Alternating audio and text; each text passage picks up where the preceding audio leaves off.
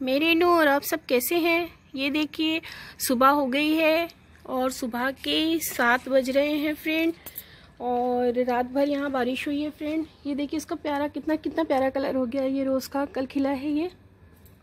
और ये देखिए हमारी चांदनी। और देखिए फ्रेंड ये हमारी हाइब्रिड चांदनी कितने अच्छे से खिली हुई है, देख रहे हैं?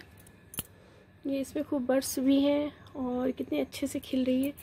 बहुत अच्छा लग बहुत अच्छा लग रहा है फ्रेंड पूरा गार्डन भरा हुआ। ये देखिए, आज हमारा वाइट विनका खिला है, देसी वाला। बहुत दिनों के बाद, कम से कम दो महीने बाद खिला हुआ है, देख रहे हैं और इसमें कली आ रही है, अब अच्छे से खिलेगा।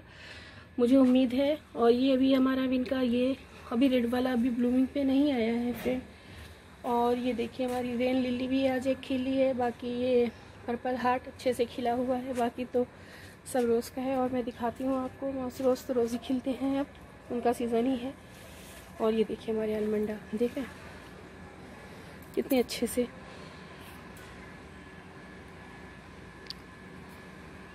मैंने देखिए, इसकी भी कटिंग लगाई थी, इसको चेन प्लांट कहते हैं, और इसकी भी कटिंग अच्छे से लग गई। मैंने अब तक आठ दस कटिंग लगाई है फ्रेंड और मेरी सब अच्छे से लग गई। ये देखिए हमारी यू फोर बिया मिली।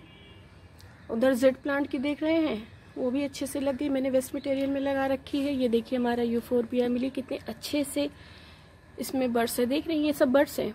ये सब फूल खिले हुए हैं। देखिए कितने प्यारे। और ये गर्मी की वजह से इन्होंने अपनी कलर खो दिया था। अब ये फिर से अपने कलर पे आ जाएँगे, देखिएगा। तो फ्रेंड, मेरा कहने का ये मतलब है कि आप बारिश में बिना डरे ही आराम से कटिंग लगाइए। मैंने आपको कई कटिंग दिखाई यूफोरबिया की जेड की और विनका की और मैंने बहुत सी कटिंग लगाई, फ्रेंड, और मेरी सब सक्सेस हो गई है। तो प्लीज़ आप लोग भी ज़रूर कटिंग लगाइए इस मौसम में ट्राई करिए। लगना ना लगना, आठ दस कटिंग लगाएँगे, उसमें दो तीन तो सक्सेस होगी ही फ्रेंड तो फिर फ्रेंड कटिंग लगाइए ज़रूर आप लोग भी। इस रेनी सीज़न में। तो देखिए फ्रेंड जो बाकी जो प्लांट्स हैं वो बहुत अच्छे और हेल्दी हैं और ये देखिए, मेरा अलमंडा आज खिल जाएगा। एक ये खिलने के लिए तैयार है और एक वो शायद धूप लगते हैं नौ दस बजे तक ये आज खिल जाए, नहीं तो कल तो इसका शर्ट कल ये पक्का खिलने वाला है। और मैं आपको दिखाती हूँ जो मैंने कटिंग कुछ कटिंग लगाई। ये देखिए, मैंने कल कुछ कटिंग लगाई थी, जो अच्छे से लग गई है। और फ्रेंड ये हमारा फाइकस मैंने इसकी भी आज दो कटिंग लगाई है। फ्रेंड एक ये और ये एक ये। कटिंग लगाने का सभी तरीका एक ही है कि आप यहाँ से चार पाँच इंच की कटिंग का लिए छः इंच की, और उसको यहाँ तक मिट्टी में दबा दीजिए। और क्या बोलते हैं, ऊपर की पत्तियाँ लीव कर दीजिए, एक दो पत्तियाँ छोड़ दीजिए। मैंने तो इसमें की ऊपर की पत्तियाँ छोड़ दी, क्योंकि रेनी सीज़न में तो कुछ भी कैसे भी लगाओ, सब लग जाता है। देख रहे हैं मैंने दो कटिंग लगाई है।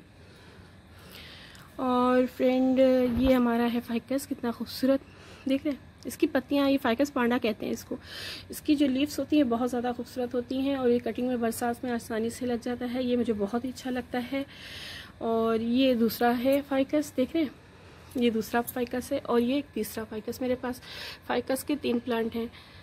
तो फ्रेंड ये बहुत अच्छा प्लांट है। ये धूप और शेड दोनों में चल जाता है। वैसे मैंने इसको शेड में ही रखा था और इसकी कटिंग बरसात में बहुत ही ईजिली लगती है। फ्रेंड तो मैंने कहा, चलो, मैं भी लगा के ट्राई करती हूँ।